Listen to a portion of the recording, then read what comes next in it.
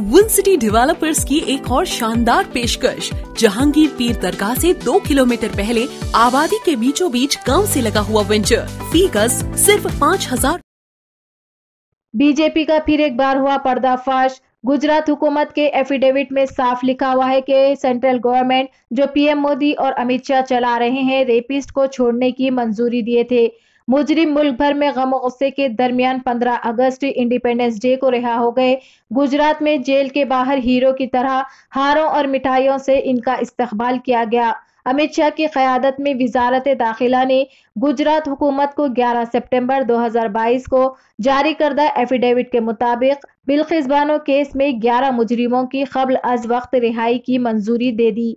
Supreme court में गुजरात हुकूमत की तरफ़ से दाखिल करदा एफिडेविट में कहा गया है, गुजरात हुकूमत के एफिडेविट से पता चलता है कि एसपी, सीबीआई, एससीबी और खसूसी जज सीबीआई मुंबई ने बिल्किस बानो केस के मुजरिमों की सजा की, मुआफ़ी की मुखालफत की।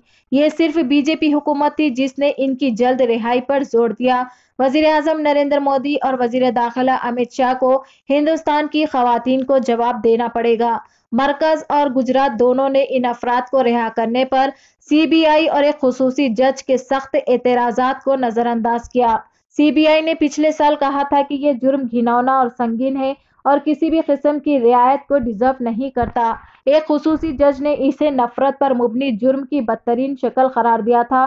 सिर्फ़ इस बुनियाद पर किया गया कि मुतासरीन का ताल्लुक एक खास मज़हब से है। इस मामले में नाबालिग बच्चों को भी नहीं बख्शा गया।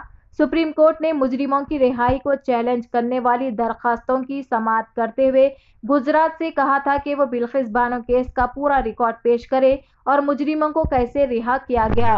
पेश है एटीन तेलंगाना न्यूज़ से ये खसूसी रिपोर्ट। हर अहम खबर से बाखबर रहने के लिए चैनल को लाइक करें, शेयर करें और सब्सक्राइब करना ना भूलें।